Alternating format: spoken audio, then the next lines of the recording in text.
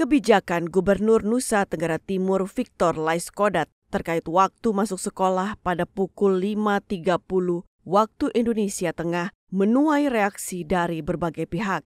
Komisi 2 DPR RI meminta kebijakan tersebut untuk dikaji ulang.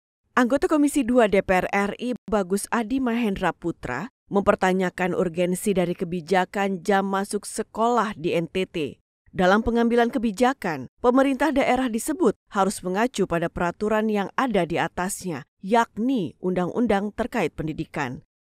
Saya belum uh, melihat urgensinya di NTT itu anak-anak disuruh sekolah jam 5.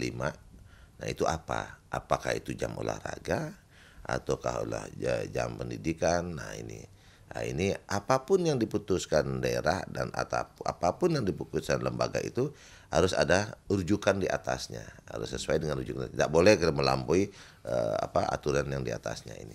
Mestinya dalam peraturan ini memanggil semua sekolah. Kan sekolah ada dinas pendidikan dasar dan menengah, ada uh, distrik pora. Nah ini dipanggil semua. Bagaimana jajak pendapatnya? Apakah urgensinya dilaksanakan pendidikan itu jam 5 pagi? Untuk apa? Nah ini ini harus dilihat. Jangan sampai nanti niatan baik ini uh, yang kemudian karena situasionalnya masih belum mendukung, justru akan menjadi celah-celah dalam melakukan tindakan kejahatan.